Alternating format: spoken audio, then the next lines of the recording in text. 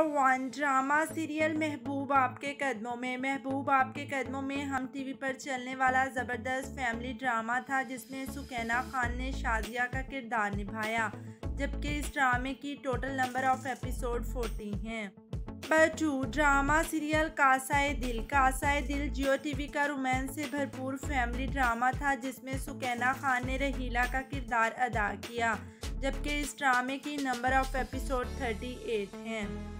Number three, drama, serial वफाब मोल। वफाब मोल हम TV का एक बेहतरीन रोमांटिक फैमिली ड्रामा था, जिसमें सुकैना खान ने नाजनीन का किरदार प्ले किया और इनके इस किरदार को काफ़ी ज़्यादा पसंद किया गया, जबकि इस ड्रामे की टोटल किस्तें 68 हैं। नंबर फोर, ड्रामा, सीरियल, मोहब्बत दाग की सूरत। मोहब्बत दाग की सूरत जियो टीवी का सोशल इश्यूज़ पर मबनी ड्रामा था, जिसमें सुकैना खान ने नरमीन का किरदार प्ले किया जबकि इस ड्रामे की नंबर ऑफ़ एपिसोड 49 है।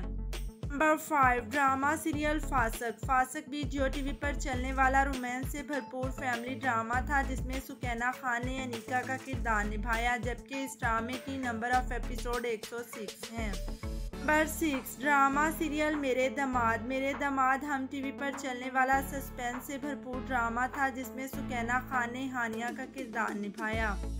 जबकि इस ड्रामे की नंबर ऑफ़ एपिसोड 48 हैं। नंबर सेवन, ड्रामा सीरियल तेरे आने से। तेरे आने से जियो टीवी का एक rom com Ramzan special drama था जिसमें सुकैना खान ने मोना का किरदार प्ले किया, जबकि इस ड्रामे की टोटल किस्तें 37 हैं। नंबर एट, ड्रामा सीरियल सिर्फ़ तुम। सिर्फ़ तुम जियो टीवी पर चलने वाला एक रोमांटिक फैमिली ड्रामा है, जिसमें सुकैना खान अमल का किरदार प्ले कर रही हैं। और अपने इस किरदार से लाखों लोगों का दिल जीतने में कामयाब हो रही हैं। नंबर नाइन, ड्रामा सीरियल जाल। जाल हम टीवी पर चलने वाला सुकैना खान का एक बेहतरीन ड्रामा है, जिसमें उन्होंने जूनिया का किरदार निभाया और यही किरदार इनकी वजह शोहरत बना, जबकि इस ड्रामे की नंबर ऑफ़ एपिसोड बत्तीस हैं।